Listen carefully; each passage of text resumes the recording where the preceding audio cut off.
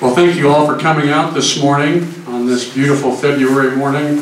I've got a great turnout for cars and coffee, and, and so if you partake in that, I hope you enjoyed the coffee and the donuts. But one of our favorite things every month is our Tread Talks, and, and I'm really excited about this morning's presentation. We have with us Dan Minick. A lot of you recognize Dan from here at the museum.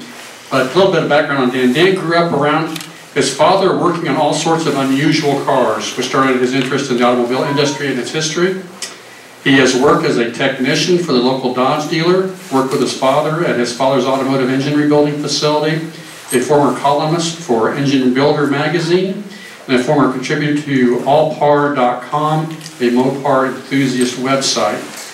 Dan currently teaches at KSU's College of Business and Operations and Supply Chain. He's been a volunteer here at the Midwest Dream Car Collection since the beginning his wife Sherry, I don't know if Sherry's in, Sherry's back there, like recognize Sherry. Sherry's our events and operations director here at the museum. Uh, in addition to serving as a floor volunteer, Dan, for over a year or so, has been our collection advisory team, which meets monthly to discuss the various vehicles, uh, what we want to purchase, what we want to borrow for a loan, what exhibits we want to show, and things like this. And so we're just so excited to have both Dan and Sherry on our museum staff and team here. So Anyway, Dan's passionate about uh, uh, European cars, import cars, uh, anything along those lines. And so this Sunbeam does have a special place in Dan's heart, and I know he's going to give us a great presentation this morning for the Sunbeam Tiger 2. So without further ado, I'm going to turn over to Dan.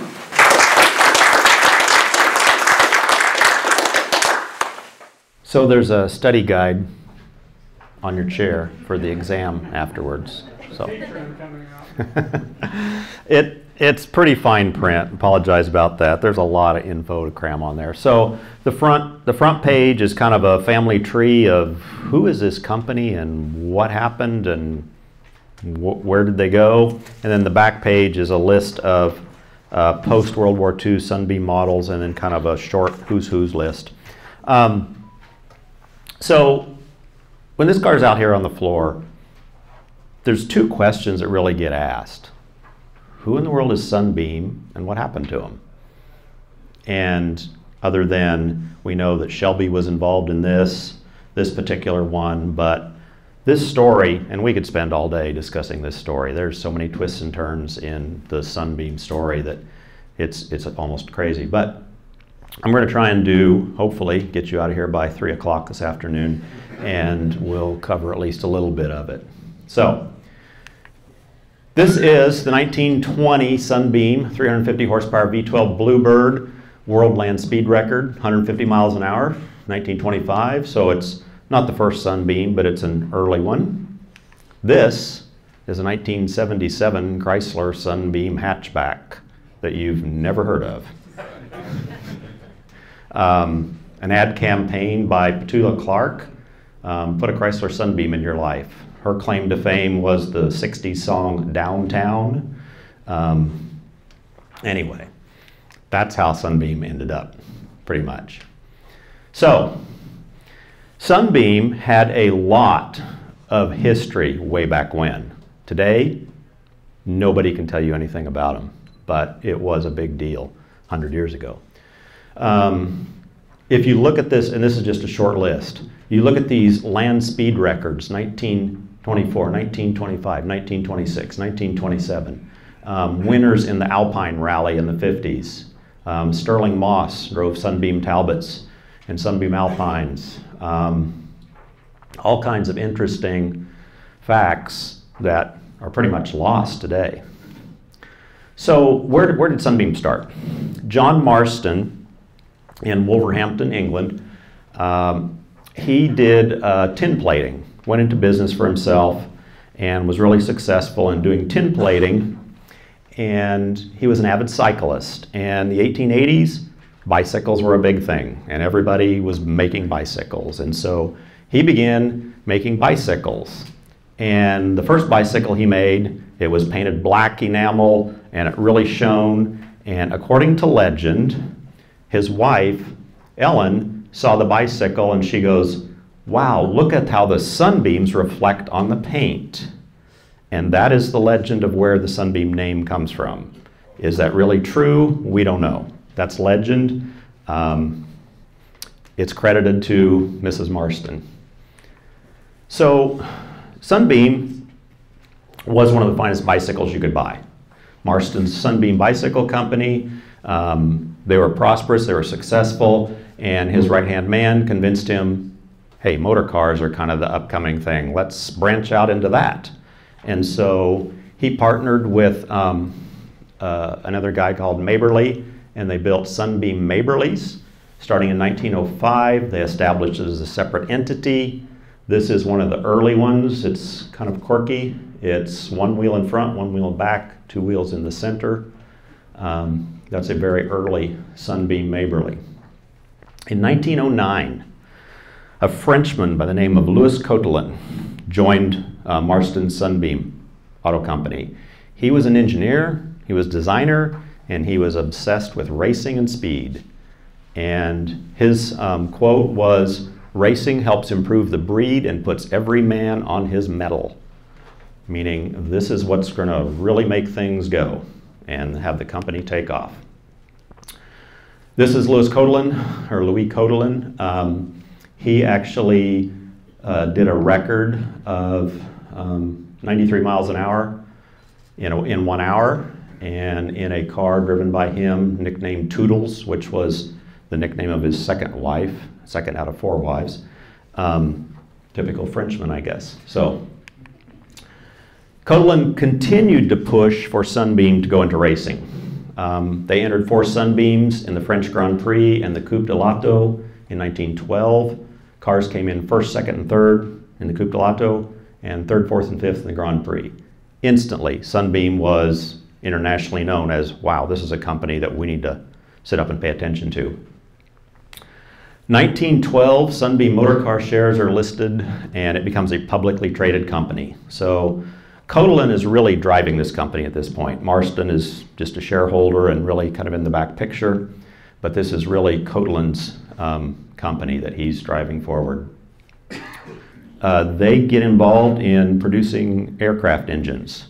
Sunbeam Coatalen aircraft motors, um, numerous seaplanes and Bristol fighters were equipped with Sunbeam aero engines. Now, meanwhile, in Paris, a guy named Darracq, Alexander Darracq, set up a company to build automobiles and incorporated a holding company in London called A. Darracq so he could import and export much easier through a British holding company, but his name was Darracq.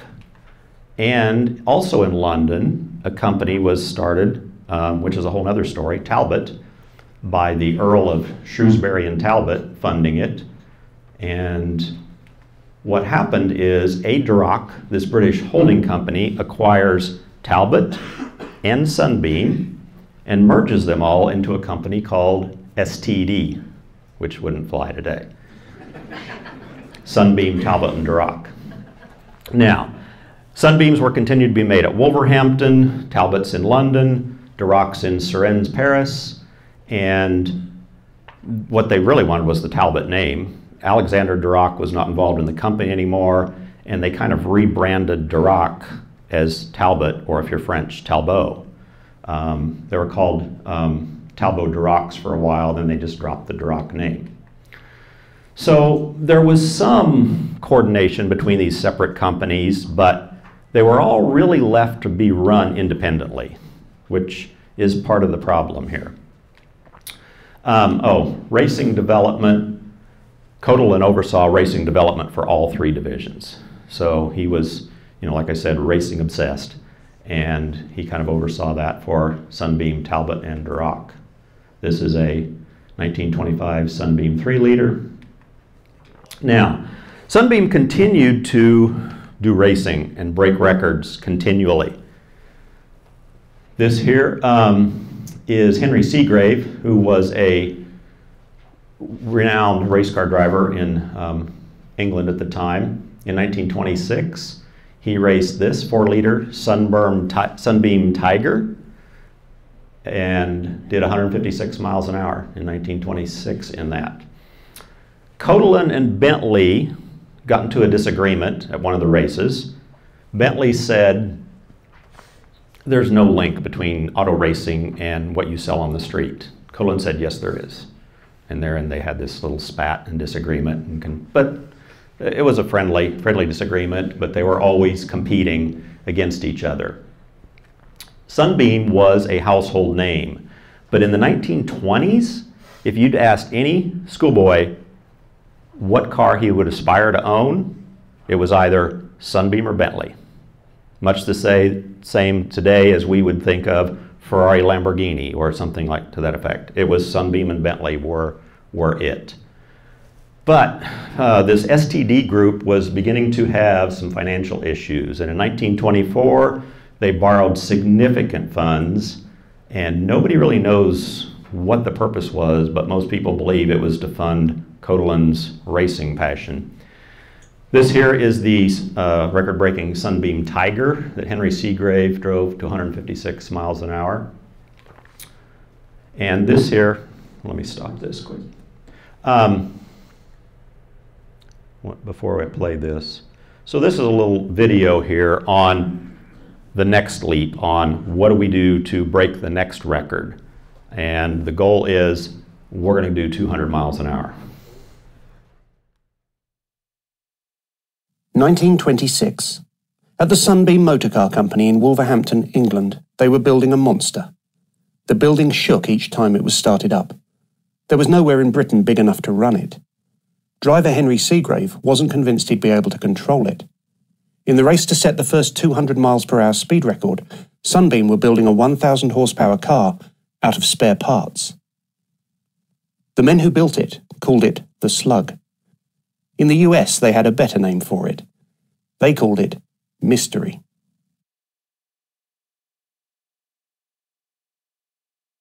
The Sunbeam Motor Car Company was formed in 1905, born out of Englishman John Marston's successful bicycle business. French engineering genius Louis Coatalen joined the company as chief engineer in 1909, and the company was soon turning out innovative designs that saw success both on and off the track. With the advent of the First World War, Sunbeam also became a prolific manufacturer of aircraft engines, and by the end of the war, Coatalen had risen to be the company's joint managing director. Brooklands racer Henry Segrave had set his first land speed record in 1926 at the wheel of a Sunbeam, only to see it broken just over a month later by John Parry Thomas driving Babs, an ex Brooklands car now sporting a 27 litre Liberty Aero engine. Segrave and Coatalen could see that whilst record breaking could continue to bring valuable publicity to Sunbeam, future challenges would require a radical new approach. Sunbeam shareholders weren't so sure, and with minimal funds approved, Coatalen's only option was to build the new car from the company's parts bin.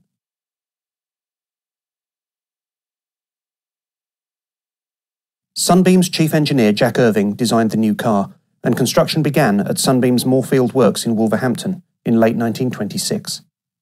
In the corner of the workshop lay a pair of Sunbeam Matabele V12 aircraft engines, salvaged from a sunken powerboat. At 22.4 litres, each engine produced around 450 horsepower.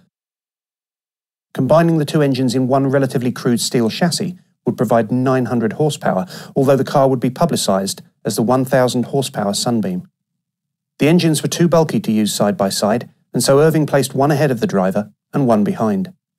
The cockpit was offset to avoid the prop shaft that coupled the engines together, allowing Segrave to sit low down within a sleek body that was tested in Vickers Wind Tunnel at Brooklands. As work continued on the car, Sunbeam's engineers began referring to it as the Slug. Irving's design featured a tubular frame onto which was mounted a slab sided body with front and rear curves designed according to the latest aerodynamic thinking. Irving had managed to keep the frontal area of the car as low as possible, and a figure of 18.7 square feet resulted in a drag coefficient of 0.34, fairly slippery even by today's standards, but revolutionary in 1926. The huge Matabele engines were cooled by three radiators, one in the nose for the front engine and two in the sides for the rear. Exhaust for the front motor exited through the body sides, with louvers in the top to help heat escape. Twelve exhaust stubs behind the driver serviced the rear engine. When the car was run up on a test stand in the workshop, as the building shook, the noise from the 24 cylinders was described as shattering. Segrave, watching the test, said afterwards, It is the only time I can honestly say when I have stood in front of a car and doubted human ability to control it. Although Sunbeam had been using shaft drive in all its racing cars since 1910, Irving was concerned at the prospect of running 900 horsepower through a conventional rear axle, and so a three speed gearbox would turn the rear wheels using drive chains. Thick steel was used around the rear wheels to contain a flailing chain if it broke free. On the test stand, with the wheels spinning under power, the chains could be seen glowing red hot. When complete, the 1,000 horsepower Sunbeam stood 23.5 feet long and 6 feet wide, and weighed around 4 tons. Top speeds in each gear were predicted to be 74, 139, and 212 miles per hour, with the engines using a gallon of fuel per minute. Thanks to the twin engine design, Segrave would have 28 instruments to monitor on the car's dashboard, including six oil pressure gauges and four rev counters. As he remarked, I won't be bored. The car was rolled out of the workshop on the 21st of February 1927 days after Malcolm Campbell had raised the record to 174.88 miles per hour in his new Bluebird. Segrave gave the Sunbeam the briefest of test runs on the factory's roads. In fact, it ran for just 300 yards before it was carefully packed in a huge wooden crate ready for Daytona. With Segrave aiming at 200 miles per hour, it was felt that recent British sites for speed records Pendine Sands in Wales and Southport Beach in northwest England, would not offer enough room to run a car that would need four and a half miles to accelerate, a measured mile for the record, and a further four and a half miles to stop. Although the 20 mile beach at Daytona looked ideal, running the car in the US meant that British sponsors were reluctant to back the record attempt, and Segrave ended up paying for much of the trip to the US himself. Segrave was warmly welcomed at Daytona. This was, after all, the first of the famous British Speed Kings to attempt a record in the US. He'd managed to secure a working arrangement between the AAA, who would time the event, and the AIACR, the forerunner of the FIA, who then, as now, would ratify the world land speed record. Despite the lack of testing before sailing for America, Segrave's team made very few changes to the car in Daytona. After just two trial runs on the beach, alterations were made to the steering gear and newly lined brake shoes were needed after the original aluminium shoes melted. When Segrave's helmet was almost torn from his head by buffeting at speed, a deflector was added to the cockpit.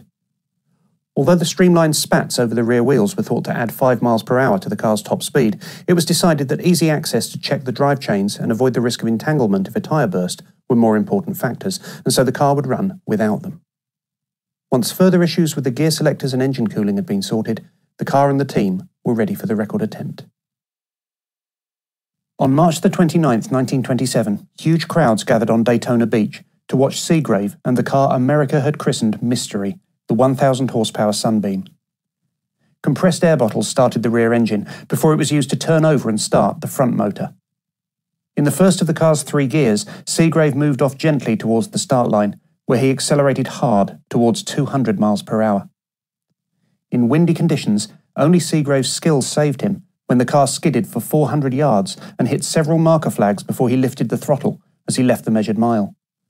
As it neared the end of the beach, the Sunbeam's brakes failed to slow the car, and quick thinking by the ex Brooklands racer saw Segrave head for the shallow water, running the car through the surf until it was back under control. As he came to a halt on the beach, Segrave could sense the record was close. The wheels and brakes were changed, the drive chains were checked, and the Sunbeam roared off back down the beach, well within the mandated one hour time limit. This time, a tailwind ensured the run was even faster, at 207 miles per hour. As Segrave rolled to a stop and people crowded round him on the beach, the news spread quickly. A two way average of 203.792 miles per hour through the mile. Segrave and the 1,000 horsepower Sunbeam, built out of spare parts for next to nothing, had smashed Campbell's existing record, raising it by almost 30 miles per hour. Campbell would come to Daytona himself the following year and take the record back, but for now, Henry Segrave was the fastest man alive and the first to 200 miles per hour.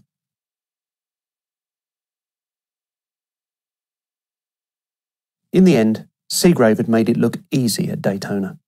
With just a handful of runs up and down the beach, he had raised the world land speed record by the biggest margin in history. For the next eight years, British and American Speed Kings would regularly duel for land speed honours at Daytona, before the salt flats at Bonneville eventually beckoned. The Great Red Car provided a huge amount of publicity for Sunbeam. It made a triumphant appearance at Brooklands in June 1927, touring the famous circuit, powered by the rear engine alone, before it was transported to London and put on display at famed department store Selfridges, where thousands of people took the opportunity to view the fastest car in the world for themselves. Having covered just 75 miles under its own power, it is now on display alongside other famous land speed cars at the National Motor Museum, Beaulieu, in the south of England. So, Sunbeam was the first car to ever go 200 miles an hour. Most people don't know that, but in 1927 they did it. And it is now, if you go to the National Motor Museum in England, in Hampshire, it is on display there and you can see the actual mystery or slug as they called it. Speed records are great, but they don't pay the bills. And this is a quote from Nick Baldwin, who wrote A to Z History of Sunbeam. He said, Vast amounts of money were misspent on a fabulously successful racing and land speed record program, which a firm making only a thousand cars a year and few of them aimed at sporting customers could ill afford. Virtually everything was made in house, necessitating 30 acres of factory floor space, up to 4,000 employees, too many models, including everything from overhead cam sports cars to straight eight limousines, constituted a recipe for disaster which duly arrived in 1935. So, after the world speed record, um, spent more and more time in France. STD moved the racing department to France. Um, Sunbeam becomes more reliant on the British Talbot for development. Um, Price Waterhouse comes in, financial situation is not looking good, not enough coordination between the brands, you need to centralize, you need to coordinate stuff. Um, a committee said the board needs new blood, the board promptly resigned. Coatalen sells off his shares, which he then invests in Lockheed and retires, retires to the Isle of Capri. Um, but 1934, those uh, 1924 loans were 10, due, 10 years now due, and the board is unable to repay or refinance. So, the cure for STD sell off or bankruptcy, and bankruptcy. So, British Talbot was still strong in sales and profitable. It was sold to the Rootes brothers. The French factory making Talbots, which used to be Darracq, was sold to the plant manager in France, Anthony Lago, and henceforth those cars would be known as Talbot Lagos. Some of Sunbeam's commercial bus operations were sold to the Rootes brothers. As for Sunbeam automobiles, sales were minimal, but the key asset was the brand name. That had a lot of equity behind the name.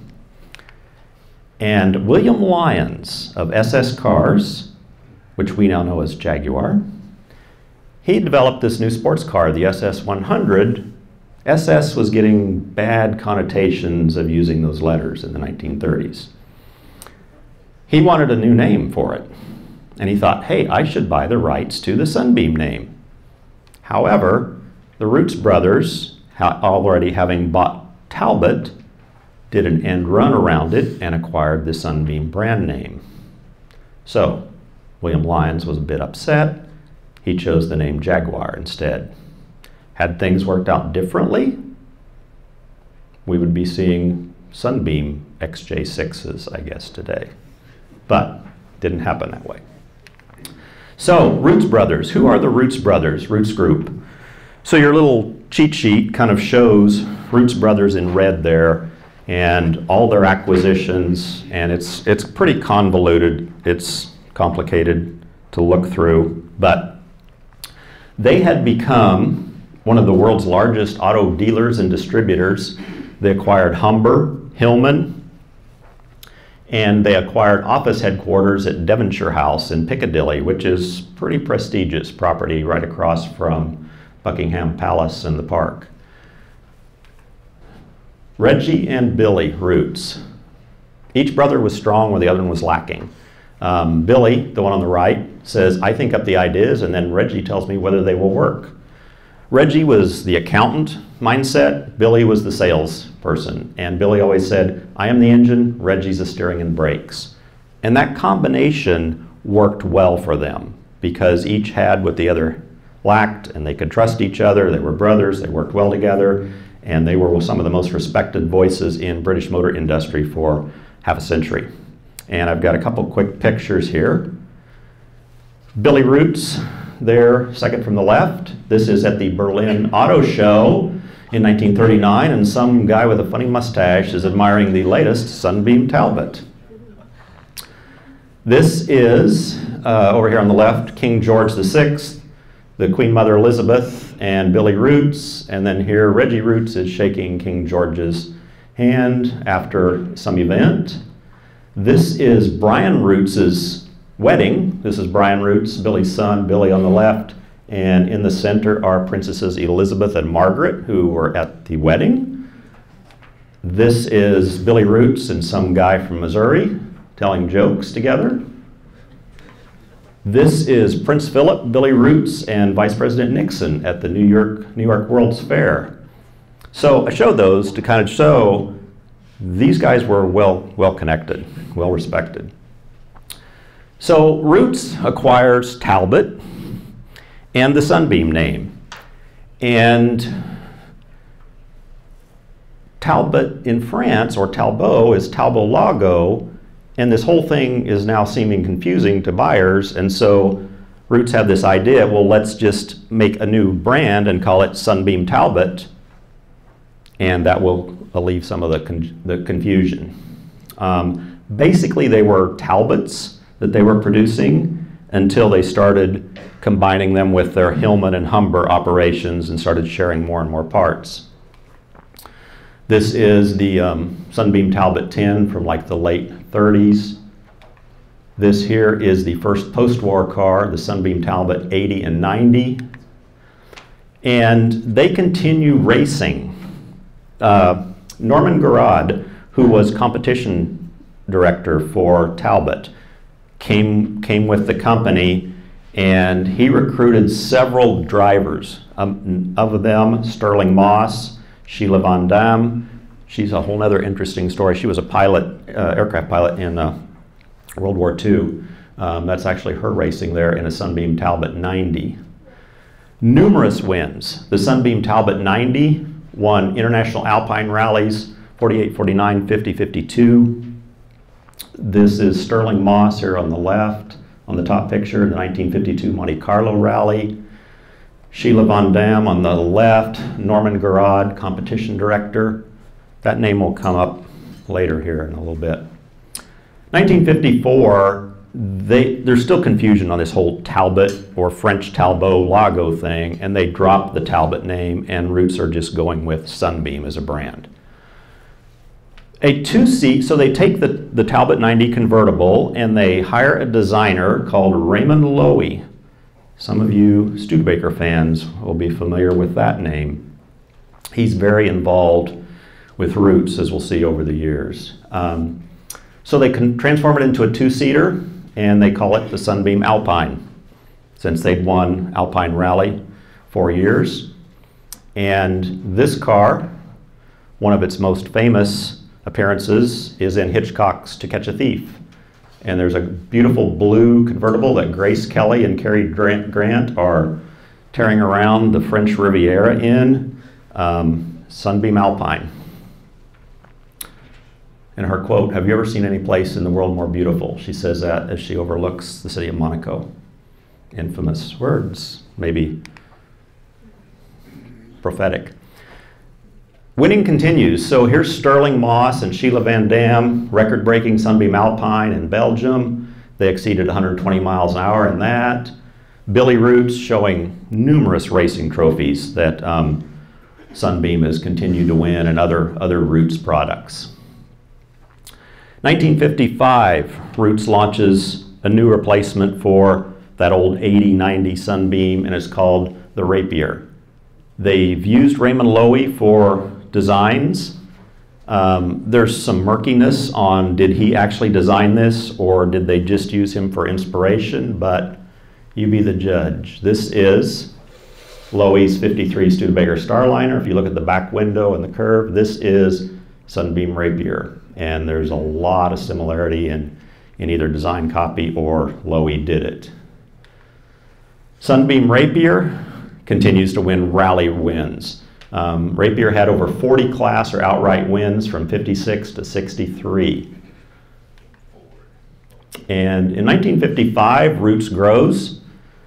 They associate, um, acquire the company Singer, which was another British manufacturer, kind of slotted in between Hillman and Humber in their pecking order. Hillman was base, much like GM. You had Hillman, Singer, Sunbeam, Humber.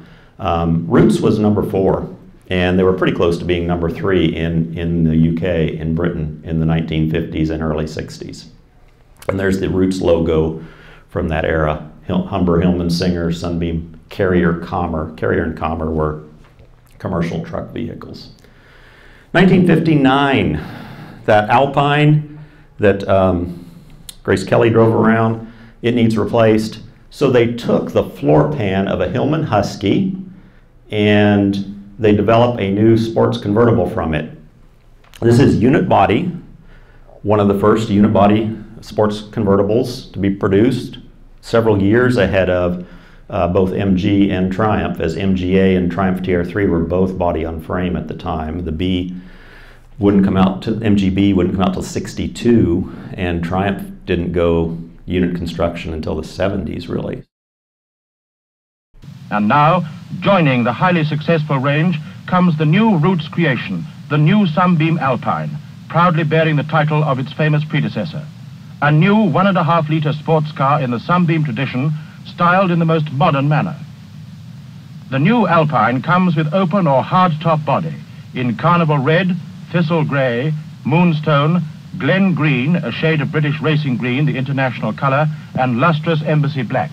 And now the new member of the great family bears the hard-won title Alpine, a sporting car of fine quality, bred to go fast and stop fast. Here is grace and elegance of line. See how those tail fins follow from the harmonious flow of the speed lines of the body. Distinctive front end, low swept for vision and streamlined to cheat the wind. Very neat headlamp treatment too. See those wide doors. With the top up, this is a virtual coupe with safety glass winding windows eliminating rattles and drafts. Clever arrangement of the instruments on a smart fascia panel, and twin bucket seats to stop side sway on fast corners, foam rubber cushioned. And there's a full seven inches of fore and aft adjustment for the driver and plenty of headroom too. So, this new Alpine, which looks pretty similar to this, except it's got tail fins on that, they hired Kenneth Howes, young industrial designer who had worked for Raymond Loewy. And he also had uh, went to America and worked for Studebaker in South Bend, and then went to Ford, where supposedly he worked on a Thunderbird in the 1950s.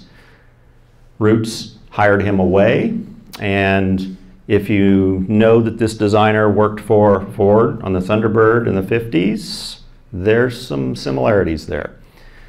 This, the primary target for this was export to the U.S. We're going to export this Alpine to the U.S.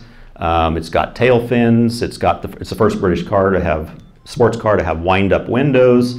You know, we're really targeting U.S. market with this car. Billy Rootes loved product placement, whether it was intentional or accidental. They did tons of product placement. And 1961, if you've ever seen the movie Butterfield 8 with Elizabeth Taylor, uh, which she won an Oscar for Best Actress, she meets her end in a crash of her Sunbeam Alpine, and now I just ruined the ending for you, but um, it's, it's one of the phenomenal car crash scenes of, of history. So she drives a Sunbeam Alpine. And then in 1962, a film franchise is launched, and the first movie is called Dr. No.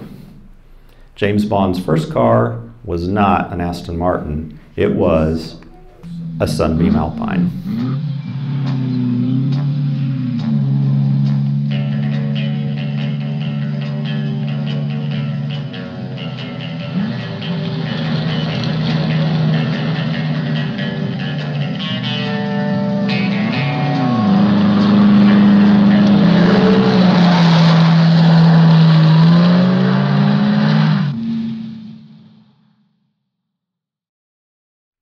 1967, if you've seen the movie Pretty Poison with Anthony Perkins and Tuesday Weld, Sunbeam Alpine is what they're driving around um, causing trouble in. The Alpine had a four-cylinder engine, 1500 cc, 1960, the Series 2, they bumped it up to almost 1600 cc. Here's production line for the Alpine at that time. And in, by 1962, and you know that Sunbeam is still serious in racing and doing this, and there's some race car drivers, um, one of them specifically named Ken Miles, uh, hanging out in Riverside, California. He's a Brit. Some of you recognize that name. Uh, he actually uh, won class in Class F in production British sports car, and Class F was pretty highly competitive. Um, Porsches were competing against him, but Ken Miles was able to win in a Sunbeam Alpine. By October of 62, and this story, there's lots of versions of the story, but according to Ian Garrad, now I remember Norm Garrad, who was the competition director, his son Ian is also working for Rootes Group, and he's the USA West Coast sales director. And he said they were sitting around after a race, Jack Brabham, famous race car driver, Bruce McLaren, Ken Miles, and others had just driven Alpines, endurance three hour race, and the Cobra, Shelby Cobra, had just been released. And Ian Garrad says, Jack Brabham and I were just kind of talking, and we said, what if we could put a V8 in this Alpine? If AC can do that, Shelby put a V8 in his, let's see if we can do that to our Alpine. Did some measurements. Ford small block is very small, compact externally, and let's see if that will fit. And so they did a contract with Shelby American to put a V8 in an Alpine. However, and, and here the story goes that Ken Miles and Ian Garrad were kind of impatient with Shelby working on this, so Ken Miles said, well, let me just see what I can do. And so Ken Miles takes a 260 Ford with the automatic and stuffs it in an Alpine. It's mounted high up, it's, it's crude, it's kind of a monster. And this is the actual Ken Miles prototype, Sunbeam Alpine with the tail fins. It is in um, Fred Phillips' personal collection in Calgary currently. But Ian Garrad and Ken Miles take this down LA Freeway, and it actually works. Now, they modified it a little bit so they could get the engine to fit, but they said, okay, let's go with this. And Garrad pays Miles $800 for the engine swap, and the weight was too far forward, but it did, it did work okay. So Shelby finally gets done with his prototype, and this is the Shelby prototype, and it was more of a finished effort. They pushed the motor back further, back under the firewall.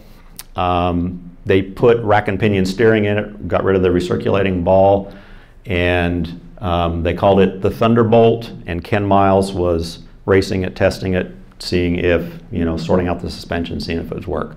After about 5,000 miles of testing, they shipped the prototype to England in the hold of a Japanese fruit freighter, and this was all kind of a secret thing.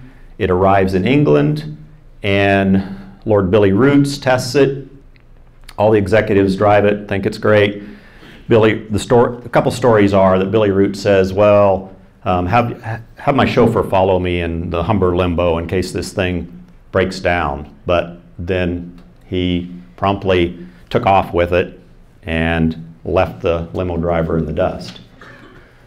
So, Ian Garrad, after, after they do this showing to the executives in England, Ian Garrad brings this car back to Shelby and says, well, let's try, see if you can put more power into it. And they actually put a high performance 289 in, which will just bolt in, but it's really the only um, Tiger slash Alpine that had the high performance 289. Um, they do install it.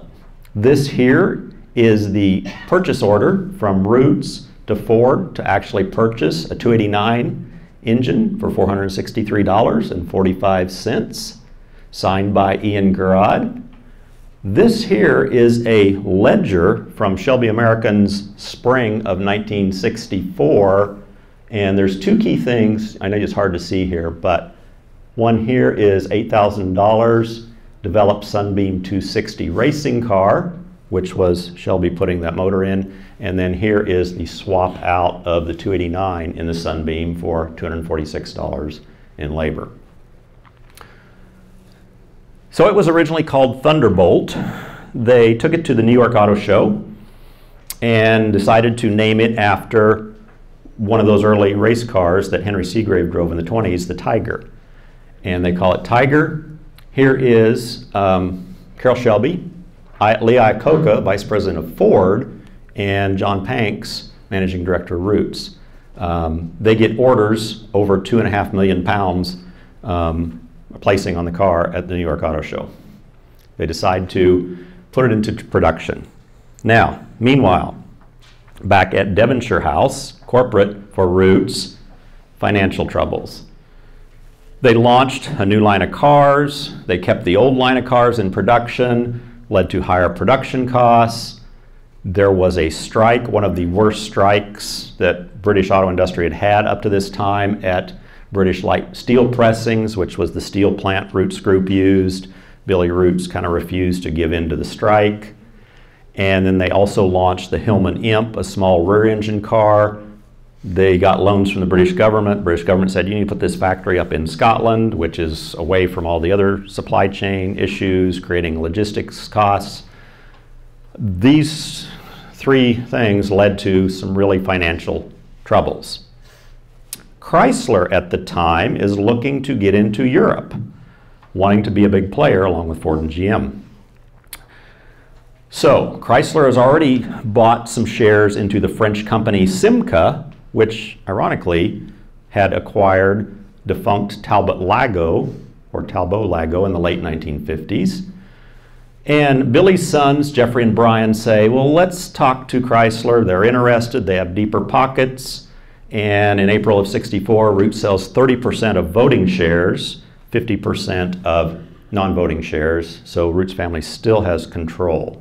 And quote from Lord Billy Root says, I just hope we have done the right thing, but I, might fe- but I feel we may all regret to the involvement with Chrysler. So, the Tiger gets launched kind of in the midst of all of this. And the Alpine Series 4, so they put a new grille on it, a single bar. The Alpine has the 1600cc. They clip the fins. Um, as you'll see here, these this doesn't have the earlier really pointy fins. They've clipped the fins to kind of update it. And the Tiger gets a little logo that says, powered by Ford 260. Shelby hopes to get the contract to build these. There's some discussion about that. Billy Rootes doesn't feel like that's the right move. He feels like Shelby has too many ties to Ford. And Rootes doesn't have facilities for it, but Jensen Company has facilities, extra space.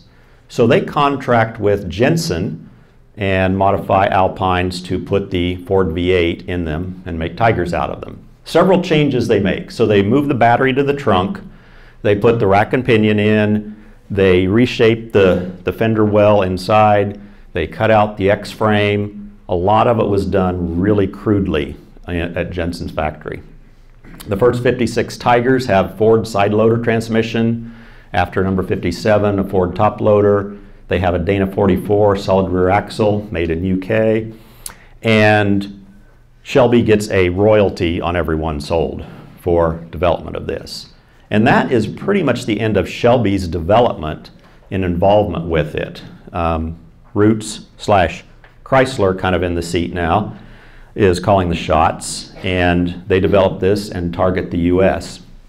They make um, 3,700 in the first um, couple years of the Mark 1, the Mark 1A. They build 2,700. Not a big volume player. Okay. Um, the Series 1A has a little bit different square doors than the original one. Um, some added cabin ventilation, some slight updates. And here's a couple ads, and I've got some copies of the ads you can look at over here on the table. But this one they actually use Carroll Shelby in. Um, grab a tiger by the wheel um, and hold on, it's alive. This one is interesting. Uh, you're too cool to be wild. I love you, big man. You're a tiger. That was a US ad. This one was a UK market ad, which they didn't target really the UK much with it. They mostly wanted to send them to the US. But they continued doing racing. Ken Miles raced Sunbeam Tigers. Um, this is actually Ken Miles here at number 74. Um, Miles drove the whole race. He won um, the B car production class and actually finished second overall to a Shelby Cobra.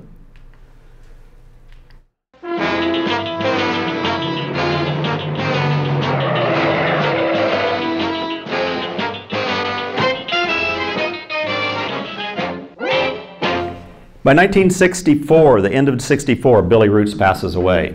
Brother Reggie assumes chairmanship, and William Lyons makes a fitting statement, a dynamic worker not only for the British motor industry, for the country as a whole. And we're assuming they got over the squabble over who got the Sunbeam name. But 1965, um, they do some updates. Alpine Series 5 gets a larger motor, the four cylinder. And since Chrysler's involved now, they try and figure out, you know, this has a Ford, the Tiger has a Ford motor. How can we put a Chrysler V8 in it? And it does not fit. Ford small block is much smaller externally. Distributors in the front, Chrysler small block V8 distributors in the back, and they've got this shoved up under the firewall. There's really no way to make a Chrysler V8 fit. So and this is, comes from Roy Axe's autobiography. He says lots of studies were done. Well, let's design a new Tiger.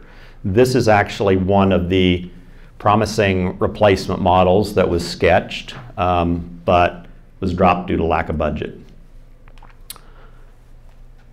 1966. This is an internal memo at Rootes Group. Effective February 1st, 1966, all Rootes stars to Rootes cars to have the Pentastar logo installed. And if you've had a 1960s Chrysler, there's a little gold star on the passenger side down here. And executive order that all Rootes Group, hum, Hillman's, Humber, Sunbeam Singers would have the star on the right front fender. Tiger Mark II, which is what this is here. So Ford has actually ended production of the Ford 260 back in 64. Um, they finally used up all the stocks of the Ford 260, so Ford's supplying a 289, which just bolts right in. They be, so they put the 289 in the Series 2, and sales volumes are just not there for it. And so they bring over Don Lander from Chrysler North America to see what we can do. We don't have funds for any bodywork changes. Um, that Chrysler powered replacement that was Corvette looking, no funds for that. Um, Don suggests stripes. Those are popular in the US. Head designer at Rootes, Roy says those are ugly. Um, but the Americans get the stripes, which this one has on the side. And they get the, they add the chrome around the wheel lip. That's added for the Series 2. They take off the rubbing chrome strip down the side. And they change this, the badges on the side. And it's a subtle thing, but the badges used to say powered by Ford now they just say Sunbeam V8 because you don't want a Chrysler selling a car saying powered by Ford. This is a Canadian market ad for the Tiger Series 2. It's got the egg crate grill. The earlier ones just had the single bar. The Series 2 has the egg crate grill. So this is all, all these little small changes are done to try and let's boost up sales in the US. But by mid 1967, they've only cranked out 500 of these, and volume is just not there. And honestly, at this point, this is almost a 10 year old design. Convertibles, the writing's kind of on the wall in the US that convertibles are on the way out, and they pull the plug on the Tiger. They also, Chrysler also kills off the big Humber sedans. Um, Rootes family sells off the remaining shares to Chrysler. Reggie Rootes steps down, and then by January of 68, the Alpine ends production as well. Now, the replacement for this really is totally unheard of in the US, and that is the new Rapier. Roy Axe designed this. This car launches in 1967. Roy Axe says this is not related or inspired by the first Plymouth Barracuda, no matter what anyone says, even though Chrysler's in control. That's his words. He designed it. We'll have to take his word for it, I guess. But yeah, lots of people have said, okay, yeah, that's just a shrunken Barracuda. They um, do a performance version of this called the H120, which is still four cylinder, but it has dual Webers. It has um, more performance, not really targeted toward the US. Chrysler's in control, and it's like, okay, we're, we're selling cars in the US, we're making them in the US anyway, why are we trying to send them over from England? And they launch a cheaper version of the Fastback and use the Alpine name on it. What they do spend money on over there is a compact four door sedan called the Hillman Avenger. You know it over here as a Plymouth Cricket. That actually was a fairly good seller in the UK. A performance version of it is launched in 72 called the Avenger Tiger. So Plymouth Cricket Tiger, I guess. Yeah. The Alpine name gets reused by the mid 70s um, on a mid sized front wheel drive sedan as the Chrysler Alpine, or if you're in France, it's the Simca. And by 1976, Hillman, Sunbeam, Singer, Humber, all those names are scrapped in the UK and they put Chrysler nameplates on everything. And they need to replace this Sunbeam Imp and Hillman Imp, so they take a rear-wheel drive Avenger, they shorten the wheelbase, and they style it to look, it's rear-wheel drive, they style it to look like the newly launched Horizon, which was developed in England by formerly Rootes. Roy Axe designed it. Chrysler was having issues in the late 70s, financial troubles, and decides to sell the whole European operation. They sell it to Peugeot for a dollar, and Peugeot assumes all debts. Peugeot has this hodgepodge of Chrysler, Simca, Sunbeam stuff. They dig up a name from the past and rebrand everything Talbot. So this is the Talbot Sunbeam. This is the last Sunbeam, so to speak. They actually do some rallying with it. And this is a Lotus engine, Talbot Sunbeam. They actually won the WRC championship in 1981 with it. But Peugeot cannot get traction with this Talbot brand, um, and they finally wind the Talbot brand down by the mid 80s. And that's where it ends, except Peugeot merges with Fiat Chrysler to become Stellantis, and now it's all back in the same pot. And I don't know who owns, I've tried looking up who owns the rights to Sunbeam, to Tiger, and it's really murky. But will there be a resurrection of it? I don't know. Here's, here's a couple emblems and badges over the years. The Rootes logo, this is what Chrysler used in the 60s, 70s. This is actually when Peugeot bought and replaced Chrysler Simca with the Talbot brand. It's gone through some changes. Any, any questions? Yes. Not, not unexpected. Are the hood louvers stock or is that? I believe they are. Because they didn't appear in most of the photos. I think I think that's a series two thing. Do you know Doug for sure? I don't, my understanding is that everything on this, when Brad Jenkins restored it, he said it was all factory correct. so- Yeah, the, the guys that restored this are some of the experts. And there's lots of clones of these. People have taken Alpines and stuffed Ford V8s in, but I guess there's some quirky little things that you can look for to tell. Back, yeah. Just a comment, really. Uh, if you look at any of the old British movies up through about 1965, something like that, all police cars were Humbers. Yeah. Um, I didn't show the whole uh, Dr. No clip with James Bond. What's interesting is that funeral car that's chasing him is a LaSalle, but when it goes over the cliff, it's a Humber. Yeah, and, and, and if you're quick, you can catch, you go, hey, that's not exactly the same car. But, but then they made a wise choice, I think, and they switched to Ford Zephyrs with V6s in them that ran a whole lot faster Yeah. than Humbers did. Anything else?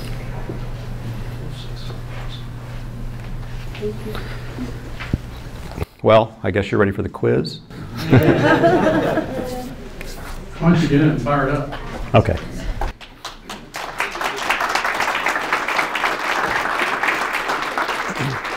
Make sure it's neutral. Release the clutch, yeah.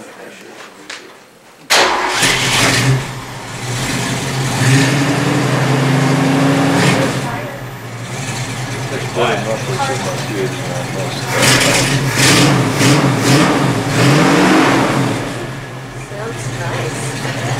Sounds Really sounding car. As tame as it sounds, let me tell you, it's a blast to drive out on the road. This is a convertible. The hard top comes off as a soft top convertible or the hard top.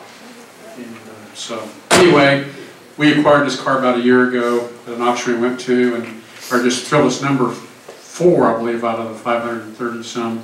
Came off the assembly line, uh, restored by Brad Jenkinson, who is, like uh, Dan mentioned, foremost uh, authority on these vehicles and restorations, and he said everything on it is numbers matching factory correct. Thank you all for coming, come check out the car.